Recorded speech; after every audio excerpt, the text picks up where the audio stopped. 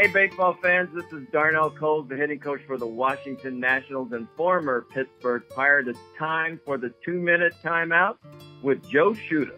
I want to talk a little bit about Gene Clines, who passed away, former Pirate in 1971 World Series team. They won the World Championship. He was one of the players that took the field that same year, the first minority lineup. He had 308 that year for the World Series champions. Highly respected hitting coach. The Giants, the Cubs, I think he was the first base coach, if I'm not mistaken. So our thoughts and prayers go out to his lovely wife, Joanne, his kids, grandkids, great grandkids, his extended family, which means all of us in the baseball world, all the friends in his neighborhood growing up. And what a special guy. He'll be sorely missed. But a quick funny story about Gino was is that my son is a Manatee County sheriff in the Bradenton area. So I had my son said, what I want you to do is I want you to go in full uniform and I want you to knock on Mr. Clines' door and I want you to give him a hug for me. But I don't want you to give it away that you're my son till the last minute. So he goes, knocks on the door. His wife Joanne answers the door. So he says, "Is Mr. Clines here?" And she says, "Gino,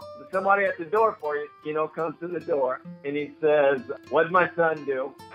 So my son started laughing and he said, "He said I was told uh, to come uh, speak to you." And he says, uh, "Your son hadn't done anything wrong." So Gene said, "Well, what did I do?" And he says, "Well, my dad, Darnell Coles, told me to give you a hug." He says, "Oh, I can't wait! I can't wait till you leave and go to work." And then he comes. So he called me and he gave me a bunch of grief for it. But again, just one of the many, many stories about Gino. He'll be sorely missed and one of the best hitting coaches I've ever been around, and, and I love him.